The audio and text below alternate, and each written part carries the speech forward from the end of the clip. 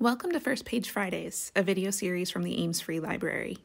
Join us each week as AFL staff share the first pages of books from a wide variety of genres. We'll read everything from new releases to titles from the library's most popular authors and even some of our personal favorites. The Road by Cormac McCarthy. When he woke in the woods in the dark in the cold of night, he reached out to touch the child sleeping beside him.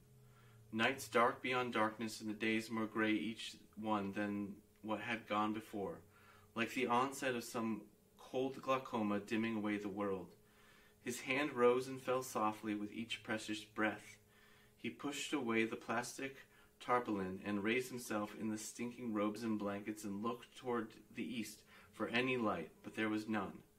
In the dream from which he wakened, he had wandered in a cave where the child led him by the hand their light playing over the wet flowstone walls, like pilgrims in a fable swallowed up and lost among the inward parts of some granitic beast, deep stones flues where the water dripped and sang, tolling, tolling on the silence, tolling in the silence the minutes of the earth and hours and days of it, and the years without cease, until they stood in a great stone room where lay a black and ancient lake and on the far shore a creature that raised its dripping mouth from the rimstone pool and stared into the light with eyes dead white and sightless as the eggs of spiders.